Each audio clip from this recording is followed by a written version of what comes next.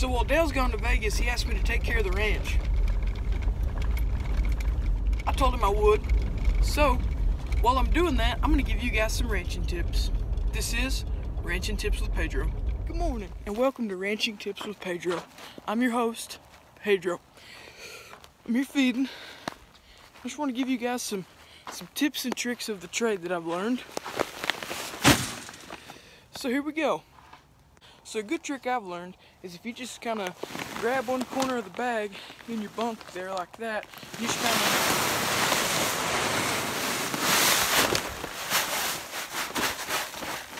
just run up and down with it like that. Spreads the feed out, you know.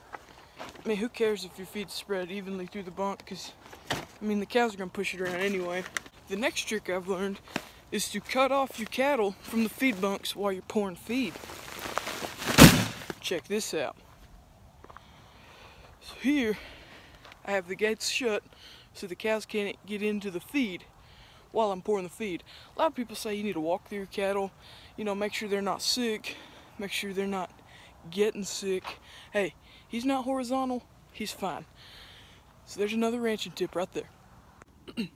another ranching tip, somebody spilled some mineral on the floor of the tack room, alright? Now most people would call that a mess. I call it slip resistant flooring, alright? Boom. Making this place safe. Another trick is to consolidate your trash.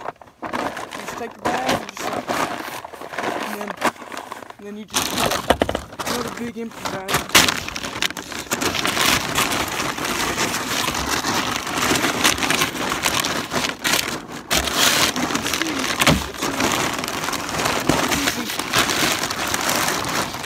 Bunch of bags into one bag. Now, if you use that tip I showed you earlier about closing off the cattle while you're pouring the feed, make sure that you get a, a good count on them when they're coming in to make sure everybody's here and accounted for.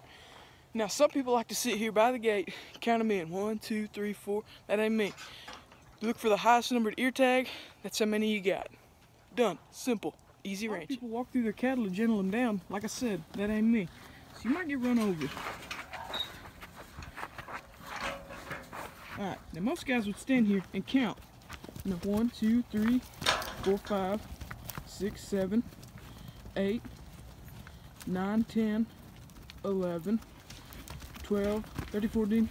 See, I lost count. So what you do here you just kind of walk around. 66. Done. There's 66 here. Want to know how I know? That's the highest numbered ear tag. Easy. Just like how you're done for the day. You can go back to the house, you can watch football, you can do whatever. You're done. Thank you guys for watching. This has been Ranching Tips with Pedro. Don't forget to tag somebody that ranches like this. And we'll see you guys on the next one.